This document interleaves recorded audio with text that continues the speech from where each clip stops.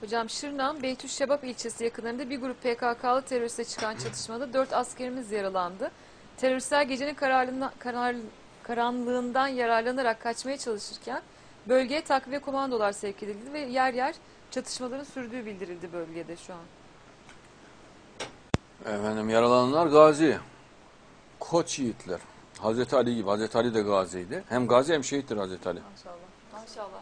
Hazreti Hamza hem gazi hem şehittir. Hazreti Ömer, hem gazi hem şehittir. Maşallah. Maşallah.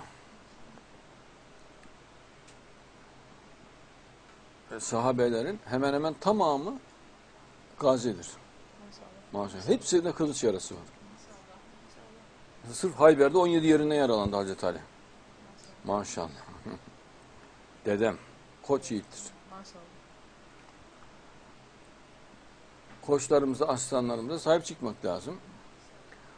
Çok fazla bölgeye kamera yerleştirmek. Çok fazla gizli kamera. Her yeri kameraya donatmak. Yani oralar böyle bir odanın içi gibi olması lazım. Ondan sonra vatandaşlar da orada çok rahat eder o zaman.